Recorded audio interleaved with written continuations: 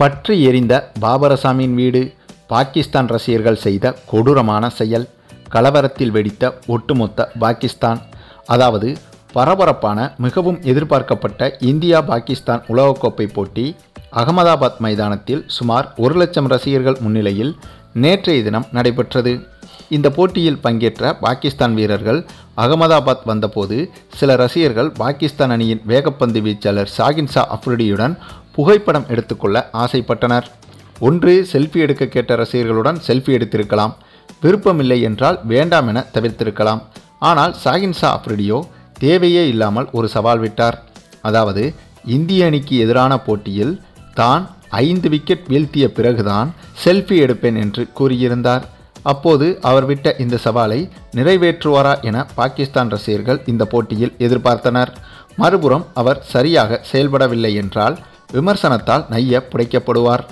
இந்திய ரசிகர்கள் இதையும் எதிர்பார்த்துதான் காத்திருந்தனர். அதேபோல இந்திய ரசிகர்கள் எதிர்பார்த்ததுதான் நடந்தது.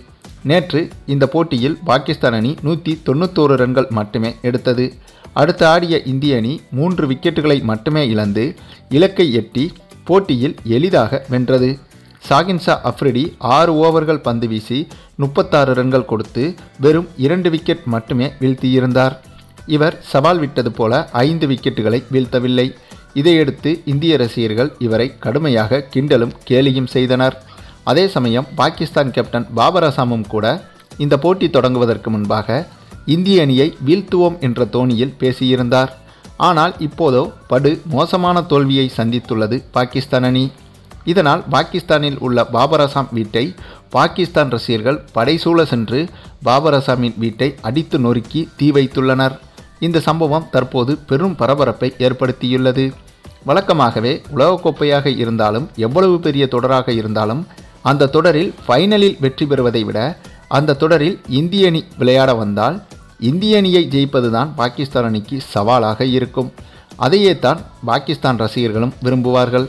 அப்படி இருக்கும்போது இந்திய அணியிடம் பட்ட இந்த தோல்விக்கு பாகிஸ்தான் ரசிகர்கள் சும்மாவா விடுவார்கள்? மேலும் இதற்கு பிறகாவது வெற்றி பெறுவதற்கு முன்பே நாங்கள் அப்படி ஜெயிச்சிருவோம் இப்படி ஜெயிச்சிருவோம்னு கம்பு சுத்துற வேலையெல்லாம் இனி பாபர் அசாமும் ஷாயின்ஷா அப்ரிடியும் வைத்து கொள்ள வேண்டாம் என்பதை புரிந்து கொள்ள வேண்டும் என பாகிஸ்தான் ரசிகர்களே இவர்களை எச்சரித்துள்ளனர். சரி நீங்கள் சொல்லுங்கள் தேவையில்லாமல் வாயை கொடுத்து வாங்கி கட்டி கொண்ட இந்த இருவரின் இத்தகைய செயலை பற்றி நீங்கள் என்ன நினைக்கிறீங்கன்னு உங்களுடைய கருத்துக்களையும் கமெண்டில் தெரிவிங்க. மேலும் இந்த வீடியோ பிடிச்சிருந்தா லைக் பண்ணுங்கள் மற்ற அனைவருக்கும் ஷேர் பண்ணுங்கள் மறக்காமல் நம்ம சேனலை சப்ஸ்கிரைப் பண்ணுங்கள்